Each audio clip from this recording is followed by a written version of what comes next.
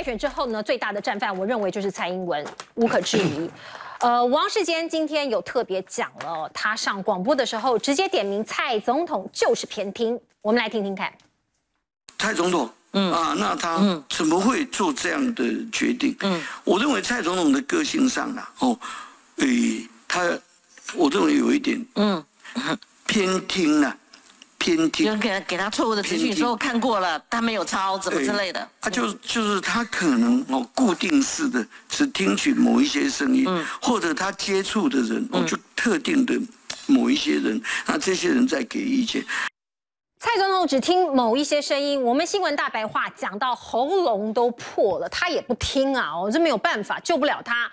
九合一惨败，蔡总统到现在还不认错吗？哦，还在检讨选民吗？必须讲哦，历史就是一面镜子，来看看崇祯皇帝明朝他灭亡之前留下的最后名言呐。他说：“君非亡国之君。”臣是亡国之臣，他认为这一切的错都不是他的错。蔡总统大败意味着民进党大败，可以看到还有好多永皇派啊跳出来帮蔡总统说话。远在德国的谢志伟，他用三千字的长文轰。尤英龙，因为尤英龙一直在点名蔡总统应该要下台，蔡总统是最大的战犯，所以我们看到谢志伟怎么说？他说：“你呀，尤英龙啊，一再把蔡英文的党内作为和决策污蔑、扭曲为蔡总统主政下的台湾是独裁。”或是不民主的国家，你尤英龙，你羞辱了总统，也羞辱了台湾，欠台湾民主一个公道哦。那谁比较民主？谁的话是对的？谁的话有偏听、有扭曲？大家都可以自行来判断哦。必须讲尤英龙哦，这个尤英龙老师他已经离开民进党了。你离开民进党，你作为一个中华民国的公民，你不能骂民进党吗？那我们这个节目也要收起来了吗？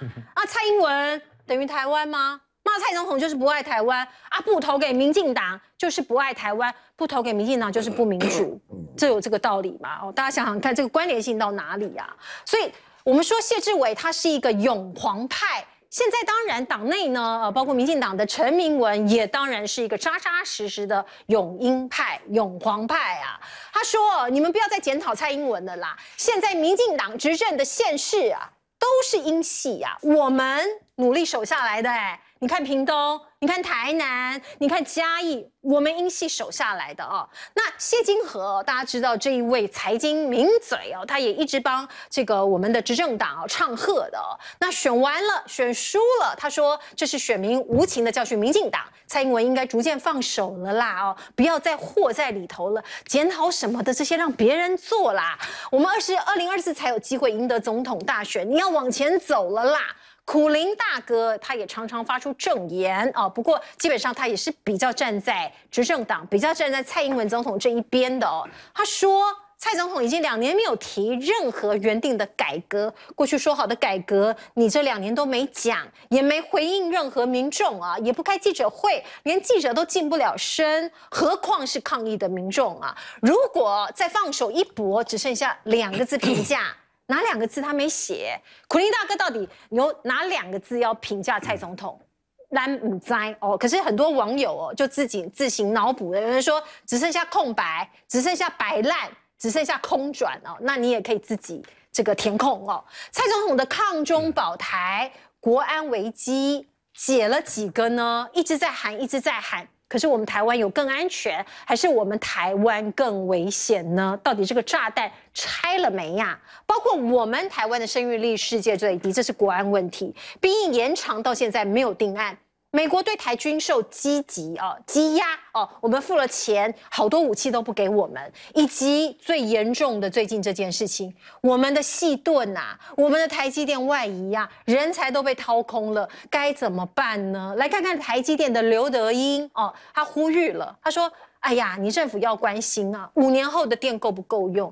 如果连电都没了，大家真的只能抱团取暖了，只能烧柴取暖了。刘德英说：“我不是我不是专业啦，可是哦，要政府来解决明年的够，明年的电够不够已经太晚了，而是要关心五年之后的电够不够。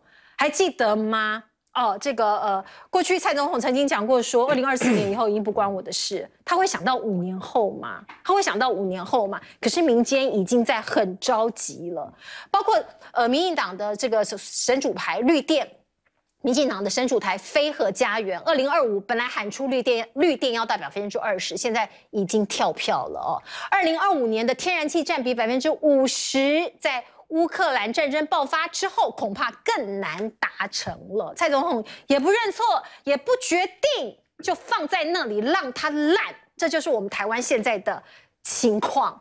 好，我们再来看看呢，元能会也是问题一大堆啊。元能会的主委谢小新，过去不是有很多这个呃被被挖出来，可能有一些这个关于性骚扰的问题吗？不过现在我们先看看呢，哦，呃，这个正事你到底做了没？哦，包括元能会要不要掌握邻国第四代核建的技术，而且在核安有审慎的规划呢？哦，那台湾。我们的核能哦，或者是未来对于核电发电这件事情，到底有没有一个规划，或是我们的政策是什么呢？美国全民因为台电付出代价大量，我们台湾的全民因为台电付出代价大量用电，因为发电破坏环境，却抵不过美国想要掏空台湾吗？大家知道台积电这个晶片这个产业，它用了大量的电、大量的水，其实我们台湾我们付出了很多的代价，我们牺牲了很多。可是美国人叫你来你就来，叫你走你就走，是这样吗？白宫宣布了，拜登总统将会出席十二月六号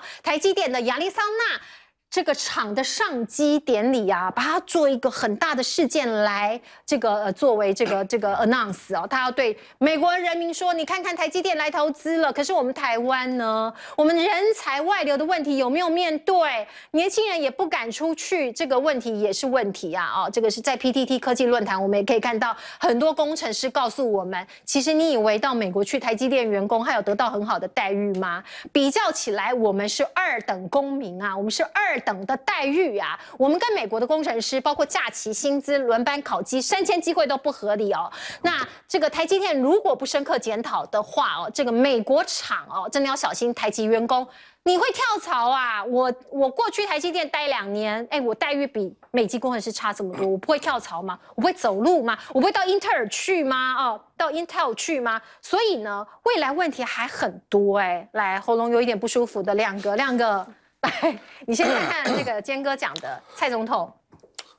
我觉得蔡总统这是最大的危机啊，就是他讲话可能没有人再相信了。嗯，啊，这个所以产经新闻啊，这个十百名副的报纸啊，都公开写一个标题：公信力重挫。啊，你去想一想啊，你的秘书长林喜耀出来讲的民调，你都是大赢啊。对。你最最信任的最大报纸。自由时，还有人特别把它登出来啊！四项民调都是民进党赢啊。嗯，你从头到尾都相信这一些，那最后全部都是假的。可是蔡总统有国安团队啊，这个民调他应该掌握得到吧？不，重点就在于你是不是真的信了嘛？如果说是策略性的，我这是 我这是感觉啦，不是策略性的，是真的信，真的信。还有有有一个什么什么两岸什么什么精英交流协会啊，嗯，他做了民调，每一个都是大赢的，民进党都大赢，都大赢啊。嗯，你去想一想，有这三个民调，嗯，那 你也知道电电视的政论节目，对，一定会引述这些民调来大做特做嘛，嗯，所以他就会传散开一种假象，哦，嗯，我觉得这一次啊，给人家最大的一种挫折感就是说。哎，你怎么会释放这么多假的事情呢？嗯，你都不知道，那你不是每天看《国安日报》吗？对啊，调查局、国安局应该要帮你收集一些讯息啊，没错，对不对？你至少会看到《美丽岛电子报》的民调吧？还有民意基金会的民调。是啊，嗯，那你怎么会这么相信呢？嗯，啊，那如果说你给老百姓看的选举的资讯都是假的啊，那你现在碰到了，比如说缺电的危机啊，啊。对，比如说我们那个彰化的陈秀宝，嗯，我觉得他蛮有良心的，是啊，他就讲到说，哎，人家都在研究第四代核能呢，对，那为什么台湾都不能碰？嗯哼，哦，你台湾就说我们反核，所以所有的核电技术都不能讨论，因为科学是一直往前进的嘛，是吧？对，科技也是往前进的。那你不要用核能，你用天然气。嗯，天然气第一个贵。嗯，那第二个运进台湾的时候容易被中中国大陆给你抵制嘛，封锁嘛，给你截断。嗯，那请问你有回答过我们的安全问题吗？对，你有回答过吗？嗯，我们没有听到安全部门，包括总统、行政院长，对天然气进进来台湾的安全问题提过圆满的解释。嗯哼，我从来没有听过。对，哦，哦，那你说缺电的问题你不面对？呃，台积电呢？台积电人家也会担心啊，说这个搞不好只是第一场啊，后面还有五个厂。因为美国的计划就是六场，对，这大家都知道的事情嘛。嗯嗯。然后你刚刚又举了一个事实，事实上那个事实我大概两个月前我就知道。嗯，在 PTT 有人。就是台积电去，你的待遇比英特尔还差。对。嗯。那难道你不会被英特尔挖角吗？嗯。所以你台湾人去，表面上是去美国的台积电上班，最终搞不好我们的工程师就一个一个被挖到英特尔。这是极有可能的，是吗？对。啊，这个问题你可以不回不不回答吗？嗯。你王美花经济部长就用那个很空洞的语言呢，说这个没事啊，没事啊。哦，我更不要讲，你这里还没出现呢。嗯哼。我们的劳动部长许明春，对，你有没有面对过劳保破产的危机？嗯哼。我们的劳保危机是二零二六年就要面临破产的问题啊，他到现在一年补了多少钱？我们有帮他算过，嗯，一年至少要补两千亿，结果他现在一年只补两百亿，差太多了。然后苏贞昌怎么回答？苏贞昌说：“啊，大家不要担心呐，反正政府就是会撑到底。”你这是什么回答？嗯，全世界没有人这样回答劳保基金的破产问题的。嗯哼，你这个是用政治糊弄嘛？对，说反正你就是领得到钱嘛。那市场是用什么钱在支啊？用我们的纳税钱嘛，借啊，借贷啊。所以我跟你讲，我认为啦，我认为他现在真正的最大的危机就是公信力的破产。嗯嗯，从选举的用假民调来骗大家，然后现在到了台湾所面临的各种危机，你故意淡化，不去面对，然后还故意用这种。乐观的讯息来欺骗大家，我觉得这个才是最可怕的事情。是，真的很可怕，该怎么办呢？来，董哥，董哥你怎么看呢？其实你可以看到哈，蔡英文他现在是不是偏听？其实很简单了，他看到的和他接触的，的确就是那一批人歌功颂德的啊，比如说谢志伟这些人，你叫他去德国买 BMT，他驻德代表没有本事，只会说别人在阻拦他，对不对？然后连刘永龙讲话都不能。李永龙过去也是跟蔡英文共事过，在两岸他其实是有一些见解，他对于民调也很专精，对不对？这也是大家所熟知的。那我们看谢志伟，每个月领五十几万的薪水，当然要歌颂他的组织啊。大家记得那时候美国的那个部长来的时候，把蔡英文 臭叫习总统，结果他怎么替他辩解？说这个发音就是怎么样？哇，教全国人民说这他的发音是没有错的，他讲的就是说。后来人家那个部长出来道歉，说我昨天发音发错了，我讲成这样。嗯，有没有看到他道歉？没有。我告诉你，你在蔡英文旁边哦，他现在用的就是这种人，好，就像陈明文这种人，对不对？陈明文享受所有蔡英文执政最大的好处。嗯。他女儿出了一本书，帮蔡英文选举啊。各位，你看到这选举时候最好笑。嗯。蔡英文选总统的时候，他陈明文他女儿去帮忙，绑完以后。选完以后出了一本书，我的老板是总统，哇，然后风靡，然后呢，结果他有战功嘛，嗯，他就跑去桃园当青年局的局长，郑文灿属下政务官，这就跟陈时中这次一样啊，陈时中选台北市长，哦，我们这些大官的儿女，司法部长女儿，哇，许宗力的女儿去，好，法务部长的女儿，对不对？蔡必仲女儿去，徐国勇的女儿，哇，都去帮忙。然后所有人都去，就是要有个功劳嘛。那结果没想到陈时中选输了。各位朋友，民进党都在弄这个。蔡英文，我不觉得他不知道，他只是看到很多好不一样的声音，他听不下去了。现在就是这样。各位你要注意哦，下个月十号就是蔡英文不接受媒体访问的两周年了。两周年了。两周年，他为什么不接受媒体访问？因为他怕媒体突然问他的论文或什么，因为他。曾经被媒体这样，他认为你突袭，哦，那我平常跟你们也不错，你突然问这个让我难看，而且又是直播，哦，所以他就觉得说，那我就跟媒体不往来，就变没有信任。那他只要相信他的那些媒体，啊，就好像大家讲的《自由时报》《三明治》这些媒体嘛，然后他还要听最好听的啊民调。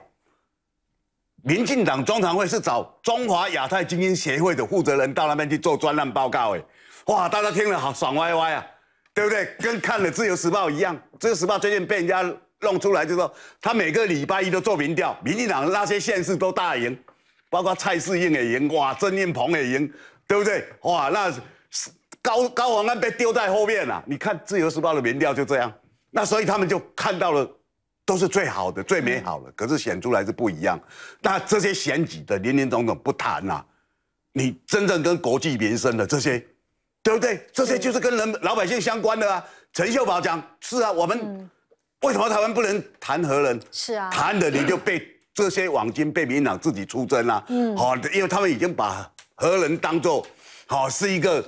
反核就变神，反核是神主牌，何人谁谈了谁就是跟台湾人为敌，危害后代子孙嘛。嗯，但他不晓得现在已经不一样了。是，他现在台湾被人家掏空，逃到怎么样？现在台积电的问题其实都谈很久。你知道今天的彭博，彭博今天发一个独家新闻，说十二月六号哦，台积电当场会宣布他们在美国做四纳米。好，这是彭博最新了，直接在上机典礼就要宣布做四纳米。做四纳米啊！今天彭博说他们已经有独家消息，就是在拜登总统来的这个现场。嗯，那接下来呢？他下面还写哦，写的其实就是张忠谋前阵子他们的厂旁边会做三纳米哦，所有高科技，因为苹果这些厂要求哦，那所以台湾其实被掏空。现在台积电应该改成美积电嘛，是不是？那不止青年外流是个问题，我们的科技最好，人家就是要。你政府完全束手无策啊！嗯，当然了，那是下一代的事了。好，我知道。对蔡总统来说，那个已经不关他的事了。嗯，关我的事啊！